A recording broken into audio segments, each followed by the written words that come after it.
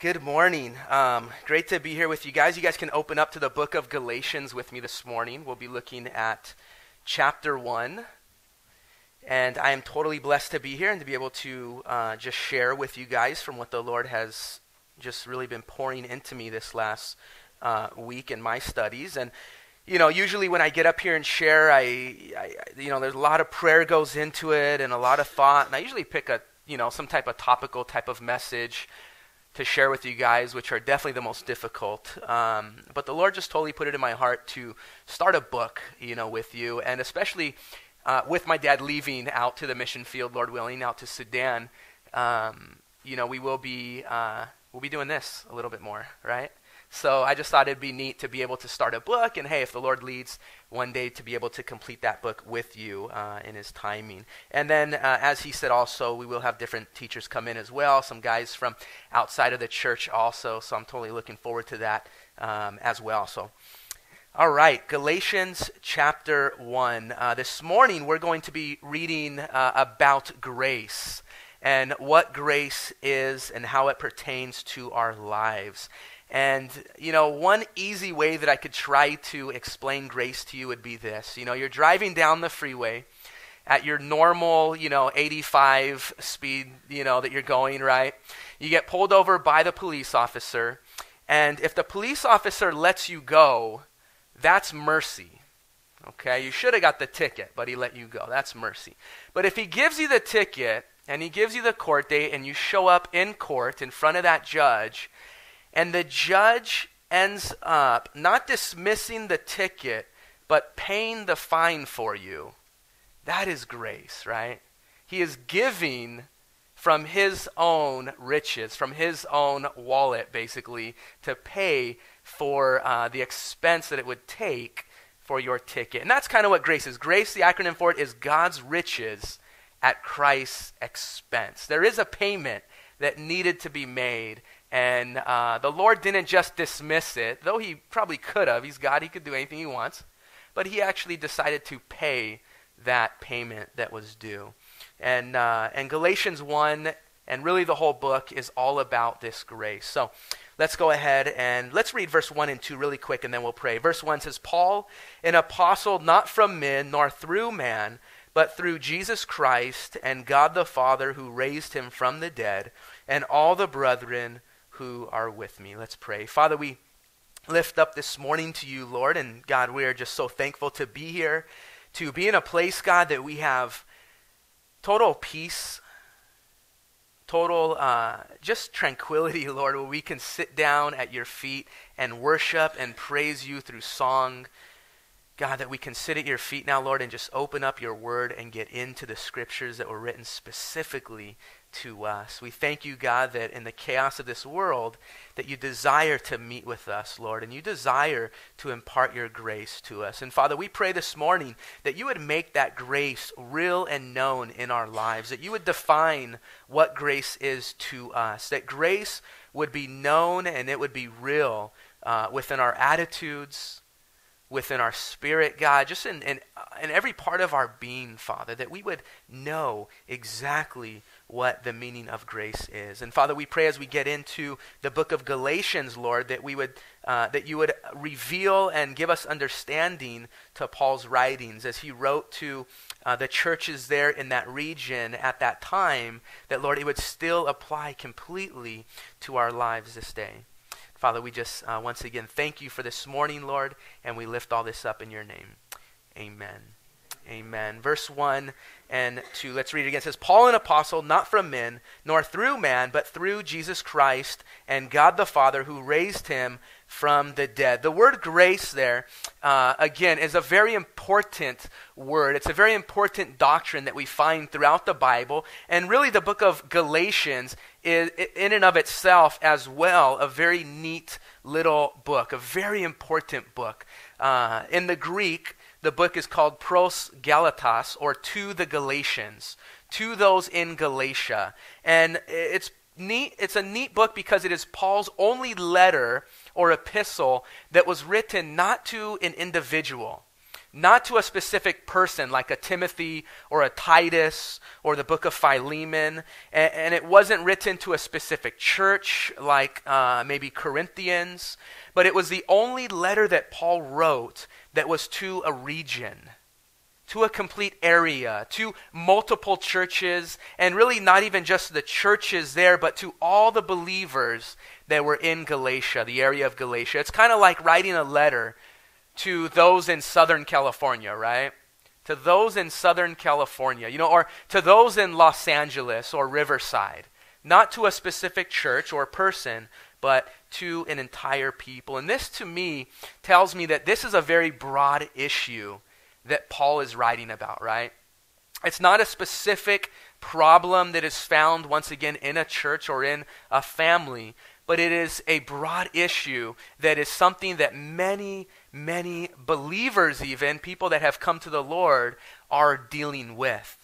And absolutely still applies even to us this day. And it's such an important little book, so important that Paul thought that everybody in the area should read this book, read this letter, copy it, pass it around, read it with your families, give it to the next church, and just allow everybody to read it that has ever accepted Jesus Christ. One thing about the book of Galatians is it is written to those that have accepted Jesus Christ. It's written to the church. And Paul's first missionary journey through the region of Galatia is found in the book of Acts, chapter 13 and 14. And I totally encourage you to uh, study the Word of God, first of all, on your own, but study it in a way that it makes sense, that it explains itself to you. And one way to do that is as you're reading through the epistles, through Galatians and Colossians and Ephesians and Philippians and all these awesome books is to read it alongside the book of Acts. Because it gives you such a neat understanding as to why all of these epistles were even written. Why Paul wrote the book of Galatians. Why? Because well we find in the in Acts chapter 13 and 14. What happened when he was there in Galatia? What happened when he was in that region and with the churches and with the believers? And it just totally gives you great insight and understanding. And as you read the book of Acts, you find a lot of mixed success with Paul as he's out ministering to people. And uh, let's go ahead and read verse 1 and 2 again of Galatians chapter 1. Paul, an apostle, not from men nor through man, but through Jesus Christ and God the Father who raised him from the dead, and all the brethren who are with me, to the churches of Galatia. And I love how Paul just starts his letter here. He starts it the same as he starts most of his letters, but a little bit different. He adds there in verse 2, he says, "And the and all the brethren who are with me." All the brethren who are with me. Paul adds here in the book of Galatians that this is not a letter written just from him. This isn't just some idea that Paul came up with, you know, some opinion or encouragement that he would have for the people there in Galatia, but this is a complete joint effort that was from Paul and from the brethren that were there in the area.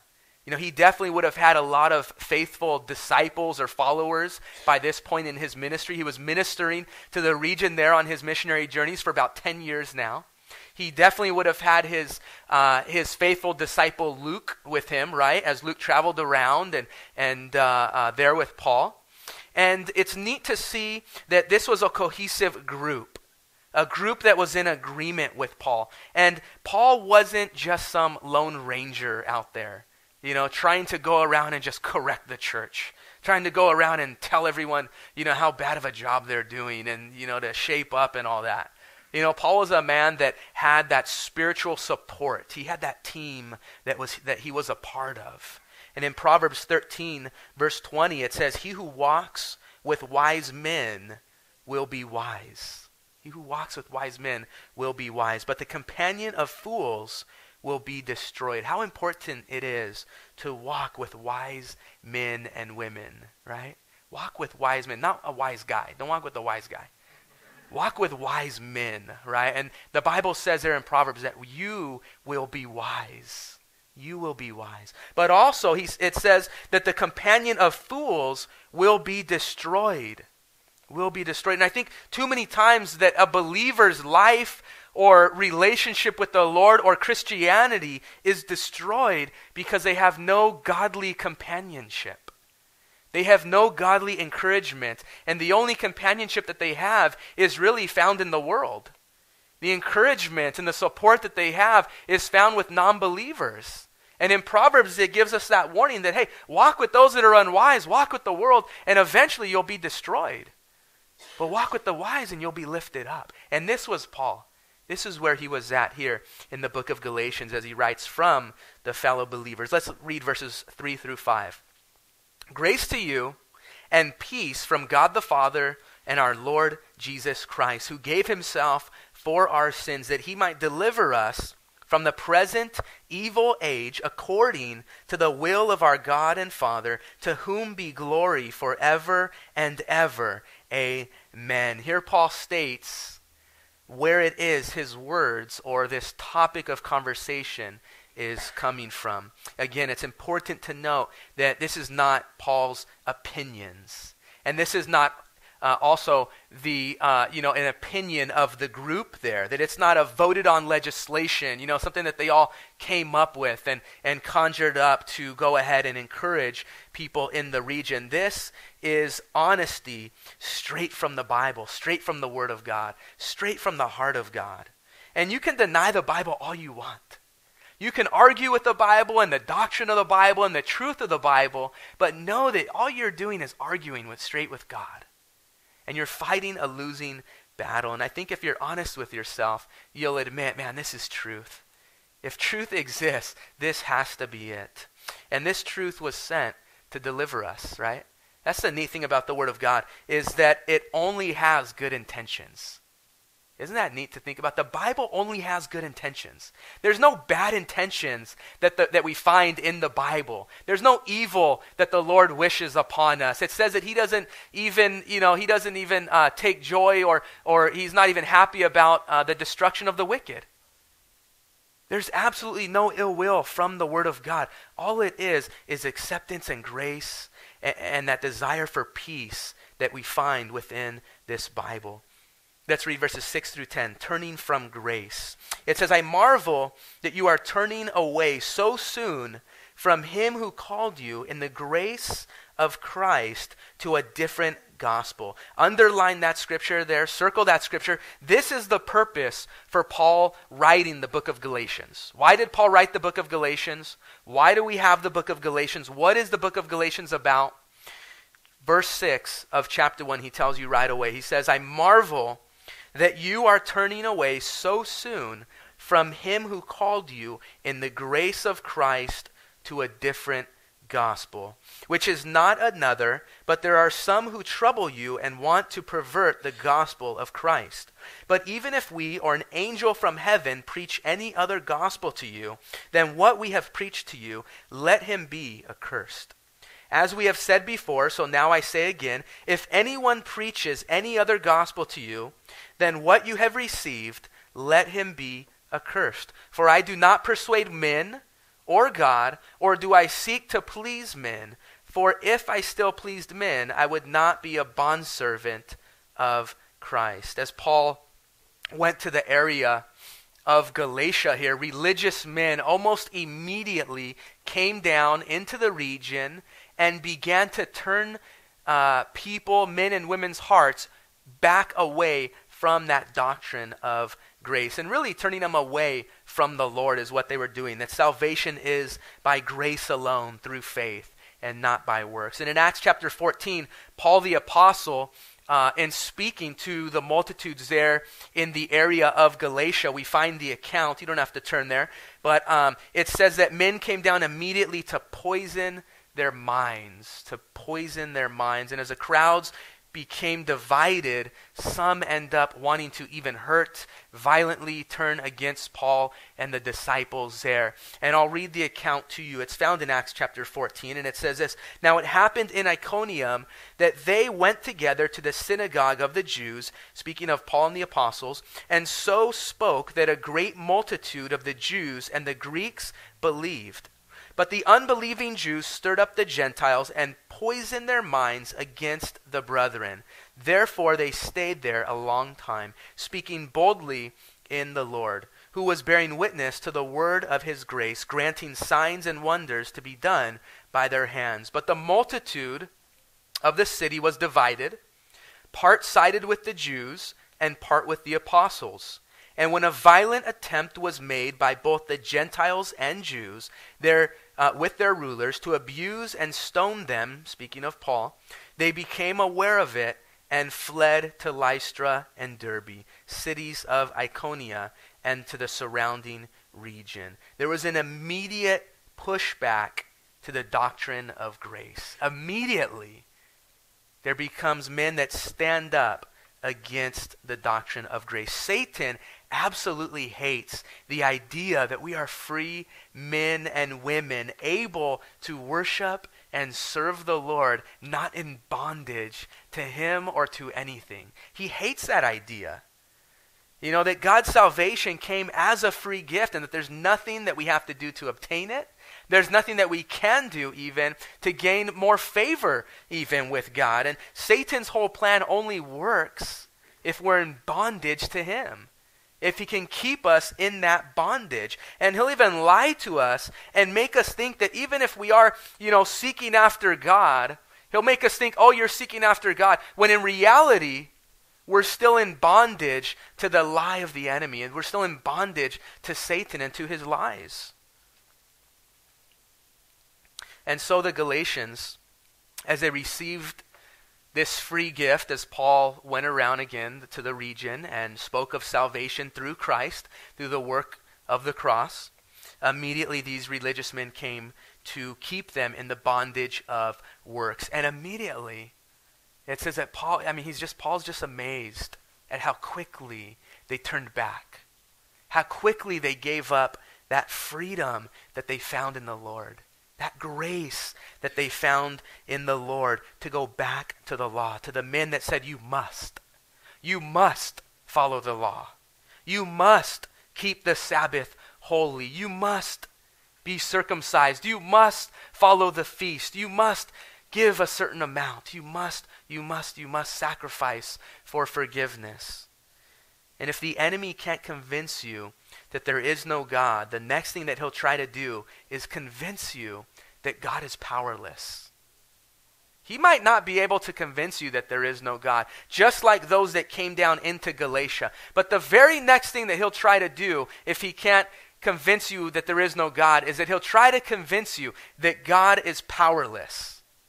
Okay, there is a God, but he sure can't save you all on his own. He can't sure he surely can't just save you with the cross with no, you know, other requirements. There has to be other requirements. And the attacks might not be as obvious as these men coming down into Galatia and wanting to stone and murder Paul and the apostles. It might be, you know, a, a, a little more hidden. It might be, it might come in the form of, you know, friends or family constantly uh, fighting against our faith in the Lord. And, you know, you're nuts, you're crazy might come in the form of teachers or coworkers always fighting against our faith, or even religious people taking our focus off of what God has done for us and trying to place our focus on what we have to do or what we can do. You know, one way or another, the enemy is going to try to get us to believe that there is no God. And if he can't get us to turn away from God, he'll definitely try to get us to turn away from his saving grace. He'll try to get us to turn away from that salvation that is free, that we're saved by God's grace, period. Period. Nothing else that has to be done. You don't have to do anything. There's nothing that you can even do. In verse 9, read it with me. Paul says, If anyone preaches, in chapter 1 of Galatians, if anyone preaches any other gospel to you then what you have received, let him be accursed. He says, if you've already, or that you have already received this truth, don't allow the lies of the enemy to come in and turn you from what you've already received in Jesus. And that's exactly what was going on in Galatia. That's exactly what they were battling with. You know, you were saved, but now it just seems too easy. You're saying we're saved, Paul, but man, there has to be more. There has to be something else that I have to do. You know, man will always look for something that is tangible, right? We'll always look for something that is physical that we can see or touch or feel. And that's why idols or idolatry is so prevalent. You go into the majority of the world and in different cultures, and there is such an importance placed on idols and statues and shrines, even. You know, for my job, I go into a lot of homes and uh, a, a, lot of um, Asian cultures. If you go into one of the rooms, this is their prayer room. And, a lot of the homes, they have all the shrines set up and the candles and the idols. And man, it just feels so creepy for me to even be in there. You know? I just want to go and just like, you know, knock it all over and then just like walk out and like, I don't know, I didn't do it, you know? It's just like so weird.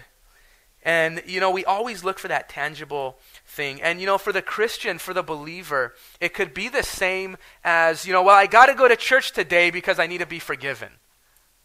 What? You've already been forgiven. You've already accepted salvation and, and, and that free gift of grace, you know, from the Lord. You don't have to go to church to be forgiven. You don't have to do anything. It turns from I have to to I get to, right? Hey, I get to go to church. I get to hear about God's grace. I get to worship the Lord. And it becomes a, a thing that is that has to be done to, to a thing that is just joyful, you know, and, and, and that we just get to, uh, that we just feel honored to even be a part of. Paul says, let those men be accursed, those that teach these lies. And I can totally understand where the Jews are coming from. You know, sometimes we, we, we, we judge those in the Bible, I think, a little too, too harshly. You know, I heard a pastor say the other day on K-Wave that a lot of pastors are going to owe uh, uh, Paul the Apostle a lot of, uh, you know, um, um, you know, they're going to have to ask for his for, forgiveness, basically, for all the messages that they've told about Paul and how many times he stuck his foot in his mouth. We just jump to judgments on a lot of, you know, people within the Bible, including, you know, the these Jews that came down and started preaching the tradition of the law. This was a tradition that was in their family from the beginning of time. This was uh, their religion that was passed down from generation to generation that started out in a correct way. And, and you know, I can totally understand how they didn't want to give up those family traditions. But, you know, the truth of the matter is, is that we have a new family now. They have a new family now. We have new traditions that we find within the Lord. And we should be so ready and willing to give up the things of the old man, right? We should be so willing to give up the things of the past, the things that we used to love to do, because now we have a new family. Now God gives us new tradition and a new covenant that we find in Him. Let's read verse 11 through 17. Enemies of grace. But I make known to you, brethren, that the gospel which was preached by me is not according to man. For I neither received it from man, nor was I taught it, but it came through the revelation of Jesus Christ. For you have heard from my former conduct in Judaism how I persecuted the church of God beyond measure and tried to destroy it. And I advanced in Judaism beyond many of my contemporaries in my own nation, being uh, more exceedingly zealous for the traditions of my fathers. But when it pleased God, who separated me from my mother's womb and called me through his grace to reveal his Son in me, that I might preach him among the Gentiles. I did not immediately confer with flesh and blood, nor did I go up to Jerusalem to those who were apostles before me, but I went to Arabia and returned again to Damascus. So Paul says that this gospel of salvation isn't something that he mysteriously stumbled upon. It's not something that he figured out, you know, over time and, and through all of his studies. It's not something that he had to travel, you know, to a land far, far away and climb up a thousand stairs, you know, and, and find that old man that was just able to give him that, you know, wisdom here. This is something that was freely given to Paul, to Paul freely revealed through Jesus, by the revelation of Jesus. It was revealed by God straight to Paul. It was a truth that was even spoken of since the beginning of time. You know, a lot of times we think that God's grace is, oh, it's found in the New Testament, you know, and it's the new covenant, yes, but it was in the works from the very beginning. You know, yes, uh, you know, there's a group of us that are all going through, you know, our devotionals together, and we're going through the Word, and we meet once a week, and it's so neat because as we go through the Old Testament, it's so neat to see that every story we come upon points straight to Jesus points to the cross and to salvation and to that sacrifice that the Lord had to make. Yes, it's you know uh, you know the grace is under the new covenant, but it's been in the works from the very beginning. And it was on the road to Damascus that the Lord revealed this truth to Paul, that he just gave it to him. Paul didn't have to do anything for it. God just gave it to him, you know? And, uh, and, and, and on this road, we see that Paul as he's going to Damascus, he gets a letter even from the high priest in Jerusalem to go and to bind Christians and to bring them back to uh, Jerusalem to face imprisonment. And we see that when you take your eyes off of grace, you get caught up in the works of the flesh. You're either in the spirit or you're in the flesh, one or the other. And every day we should be uh, looking at ourselves and examining our heart to figure out am I in the flesh today or in this situation, or am I in the spirit? Because you're in one or the other. In the book of Galatians, we'll get into all of this, and we even find the fruits of the spirit, right, in Galatians 5. And before the fruits of the spirit, we find the works of the flesh. And a lot of times we memorize the fruits of the spirit, but it's interesting to see that you can actually go back and examine your heart within the first few verses before that, even, to see, am I in the flesh? We're in either one or the other. And the more that we take our eyes off of grace, the more we get caught up in the flesh. And this is exactly what Paul was doing. Paul should have been going to Damascus to preach God. He was a believer in God. He should have been going to teach truth. But instead, he was going for punishment for judgment, to condemn. This is the heart that the law and the flesh brings. Galatians 1:13. He said, speaking of Paul, I persecuted the church of God beyond measure and tried to destroy it. Verse 14, and I have advanced and I advanced in Judaism beyond many of my contemporaries in my own nation, being, uh, being more exceedingly zealous for the traditions of my fathers. Not zealous for the Lord.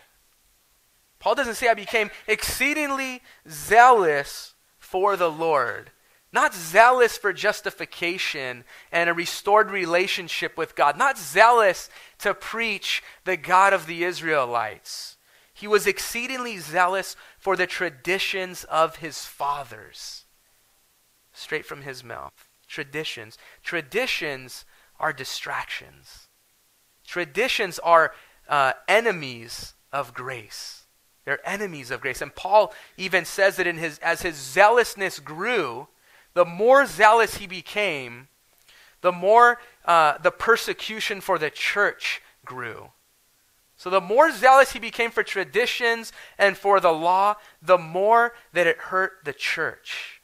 The more the church suffered. Traditions of prayers, traditions of works, traditions of giving, traditions of fill in the blank, even going to church on Sunday. These can all become traditions. And the more that traditions grow within our lives and within our hearts, the more that the church will suffer, believe it or not. The more that a, a, a heart that is full of condemnation will begin to grow inside of us. You know, whatever it is that you have your eyes on hurts the church and is an enemy of grace if it's not Jesus Christ and the cross. If it's not the grace of God. You know, well, we just need more ministries. We just need to get these things going. No, we just need more Jesus.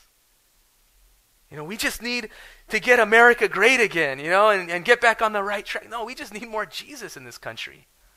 We get our eyes off of the Lord and we get our eyes onto the things that are tangible, the things that are physical that we can see. And the more time spent doing things is more time spent away from our relationship with Jesus.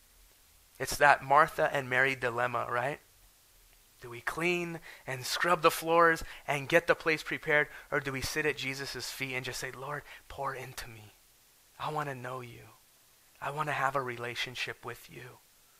There will always be enemies of grace.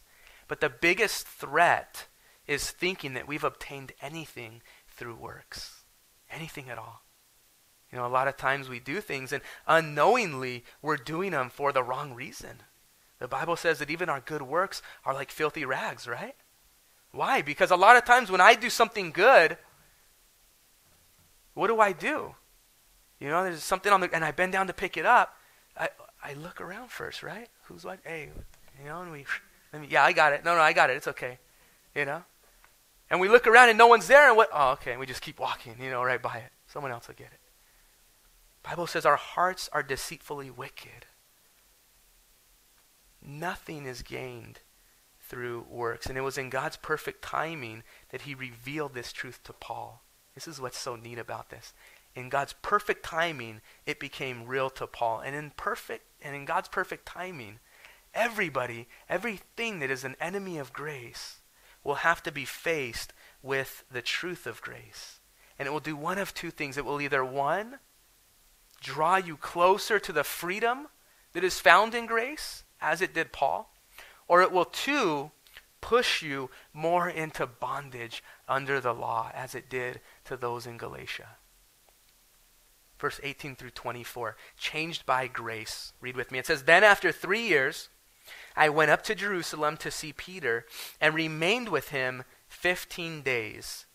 But I saw none of the other apostles except James, the Lord's brother. Now concerning the things which I write to you, indeed, before God I do not lie.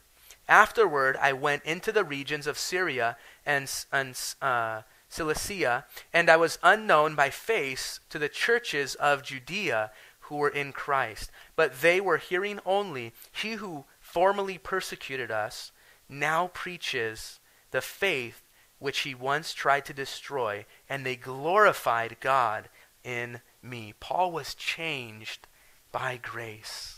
Paul was completely changed. He was a new man. He was a new creation in this newfound grace in Jesus Christ. You guys might know the story of Stephen, right? Remember that story? Stephen was a neat guy. Uh, uh, the Bible says that he was a man that was full of grace and power. And the story of Stephen is found again in the book of Acts, chapter 6 and 7. And it says that as uh, a tumult, as a, a crowd begins to rise up against the Lord and against the believers, it says that Stephen begins to uh, preach the gospel to them. And as Stephen is preaching the gospel to them, Stephen becomes the first martyr that is found in the book of Acts, right? They end up killing, murdering Stephen. And who is there to give his approval? Anyone remember? Saul, right? Paul, aka Saul. In Acts chapter 8, verse 3 says this it says, But, but Saul began to destroy the church. Going from house to house, he dragged off both men and women and put them in prison. This was an evil man how evil this man was when we really consider the things that he did. He went from church to church to drag off men and women and throw them in prison. This wasn't a man that you wanted to have for supper, you know, and you know, open up with all your ideas on life. You didn't want to do that with Paul. But the interesting thing is is that Saul, not Paul, Saul did all of this in the name of God. All of his evilness he did in the name of God. And some of the most evil men in the history uh, of this world have used God's name to carry out their evil, right? We see some very evil men that do it, that, that, uh, uh, uh, that carry out their evilness in the name of God. And Saul didn't kill Christians, he didn't imprison Christians for any type of self gain. He thought he was doing righteous works. He thought he was doing the will of God. You know, and it sounds a lot like our news today, right? You know, he thought that uh, through all his studies and through all the knowledge and wisdom that he had obtained through his religion, that he was doing those righteous works. And you know, there's people today that think that they're doing the will of God by forcing his agenda, by forcing things to happen, by making uh, things happen. And any time that we have to force things, anytime we have to force a situation, it's usually a good indication that it's not from the Lord. When it doesn't just happen naturally, when God doesn't just allow things to fall into place, it's usually a good indication that, hey, maybe this is of my flesh. Maybe I should go back and pray about this a little bit more, seek after the Lord, and ask Him to do something here. Saul's story continues on in, the, in uh, Acts chapter 9. And uh, again, while on the road to Damascus, the Lord uh, knocks him to the ground and he blinds him for three days, right? And a Christian that's in the area, a disciple, it says, by the name of Ananias, is told to go visit Saul, right? And uh, you could just imagine being in Ananias' shoes. Ananias wanted to confirm, reconfirm with the Lord if this is the man that he was speaking of. Lord, are you sure? And in Acts 9 13 through 15, this is what Ananias answered the Lord. He said, Lord, I have heard from many about this man how much harm he has done to your saints in Jerusalem. And here he has authority from the chief priest to bind all who call on your name. But the Lord said to him, Go, for he is a chosen vessel of mine. And Ananias says, Lord, are you sure? Are we talking about the same guy? You know, I don't want to go and knock on the on the wrong door here. Oh, you meant the other Saul, you know?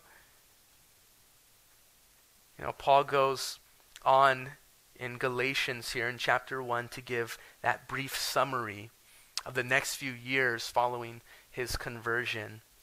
And after three years, he goes to Jerusalem and he sees Peter and the other apostles, and he heads out on his first missionary journey around the region there. And it says that he first went to Syria and Cilicia, uh, two regions that you'll find uh, before Galatians that Paul went to. In verse 22 and 23, read with me. Paul says, And I was unknown by face to the churches of Judea which were in Christ, but they were hearing only he who formerly persecuted us now preaches the faith which he once tried to destroy. They didn't know what Paul looked like physically, but they definitely knew what Paul's past looked like. They definitely knew the type of man that Paul was. And Paul's past was a past that was void of the grace of God. Paul's past was one that relied solely on works, solely on what he could do for the Lord, and had nothing to do with what God had already done for him. And when Paul realized that he didn't have to do anything to obtain God's grace, it knocked him to his butt. Literally, right? He fell to the ground and he got up a changed man. He got up changed by this grace. Has grace changed you? Can you sit here and say honestly that the grace of God has changed you? That it has affected the way that you think? That it's affected the way that you respond to others? The way that you love? The way that you react? The judgment that you have? The acronym for grace again is God's riches at Christ's expense. God's riches. He's given us everything. He's given us His riches. He's given us His righteousness. And He didn't even make us pay for it. He paid everything for it. Paul, you know, according to his way of thinking, should have beat himself with a thousand lashes, right? He should have beat himself to receive that forgiveness from the Lord the way he thought. It's called flagellation or or self mortification. It's the, it's the beating of the flesh. You know, Paul uh, uh, or Martin Luther uh, used to practice this way of thinking, and a lot of the men there in his era, there in the 15th century. They would beat themselves in order to receive uh, uh, the forgiveness of sin. And this is what it says about Martin Luther. It says that while whipping himself, climbing the stairs on his knees, trying to desperately gain favor. Imagine that climbing nairs, stairs on your knees because you want to put your body through anguish and pain because of the sin that you've had. It says, while climbing these stairs, uh, desperately trying to gain favor, when he was halfway up, remembered Habakkuk 2 4. The just shall live by faith. The just shall live by faith. Martin Luther said that the book of Galatians was one of the most influential books in his life. It was one of the most influential books in the Bible that changed his way of thinking and really brought forth the Reformation in the church because of the grace that was found uh, in the Lord and through the Apostle Paul. And really, it was one of the most influential books as well in Paul's life, right? That grace that was found. It was the forgiveness of sin and the ability to forgive others unconditionally. Unconditionally. Why? Because of the unconditional love that we have received, that God has given to us. It's that grace that God gives us that allows us to turn and have grace on others. You know, they used to beat themselves in order to try to earn forgiveness. And God says, Nope, here's that forgiveness for you, free of charge. He even says, I'll take the beating. I'll take the beating for it. I don't know about you, but that makes me pretty happy.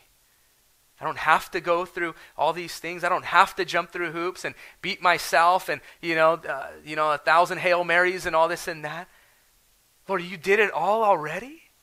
What an amazing gift from the Lord. And although we don't usually beat ourselves anymore as Christians, I hope nobody in this room is doing that. You know, but many times we still treat our Christianity in the same manner. You know, we still think that we have to try to earn status within the church or within the Lord. We still have to earn forgiveness, you know, or earn acceptance or earn salvation. And though coming to God in grace and being saved uh, through faith, we tend, like the Galatians, to run back to works, thinking that they are doing us any good for the Lord. In John uh, chapter 6, 28 and 29, it says this Then they said to him, Speaking of Jesus, it says, What shall we do? Speaking of a crowd as they came to Christ, they asked him, What shall we do that we may work the works of God? Jesus answered and said to them, This is the work of God, that you believe in him whom he sent. That's all you have to do. Jesus, what do we have to do to do these works that we see your disciples doing? That we see the awesome things that you're doing, Jesus. And Jesus says, You don't have to do anything but believe in me. What must we do to be saved? Believe in Jesus. What must we do to do the works of God? Believe in Jesus. How can I have a better life? Believe in Jesus. How can I find peace? Believe in Jesus. How can I do something amazing for the Lord? Just believe in Jesus.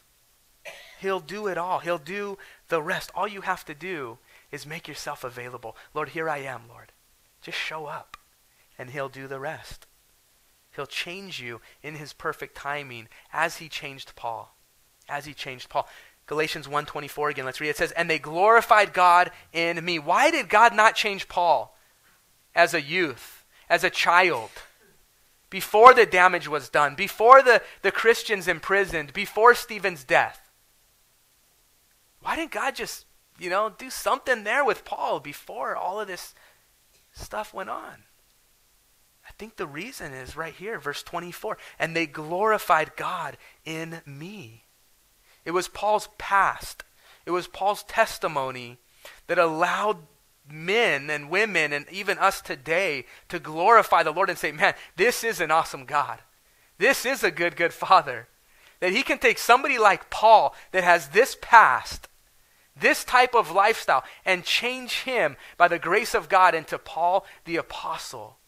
What a great God. I could imagine their excitement in that day, right? To know that Saul the murderer, Saul the condemner, Saul, you know, the, the judge and the jury, that he's now a believer.